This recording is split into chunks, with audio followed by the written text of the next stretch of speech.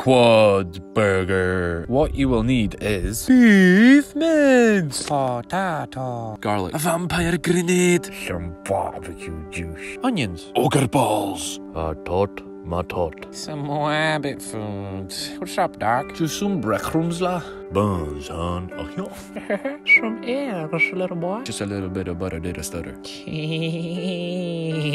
grommet. Okay, first let's peel the Potato. alive. Chop that bit up. We're making a snack. Shove it on boiling water. Onto the Krabby Patty. right, Deco. A vampire grenade. Dice them all from. Then bowl it. Grab some ogre balls. Straight from Shrek style. Cry while chopping them and, you know, put them in the bowl. Unpack the mince using expert sword skills. Giggity.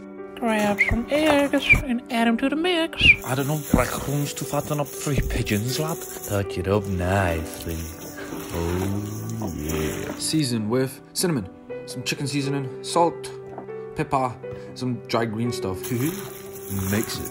Mix it real good. Make sure the pan is hot, hot, hot, and splat it in. Check if the Potato. is done. Butter it up. Slip your milk in. Smack it up. And bowl it when you're done. Enjoy a mid-cook snack. Flip the Krabby Patty. Find your closest bread. You wanna grab it, tap it, cut it, plate it, chop your tot my tot. Make sure it's all sliced. Chuck some cheese and then Krabby Patty. Put it in the oven so it melts.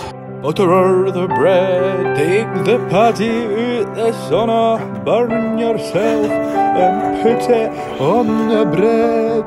Put wabbit food or shabda on it. Copy paste tomatoes on the wabbit food, salt and pepper for that fat stack. Close the back door.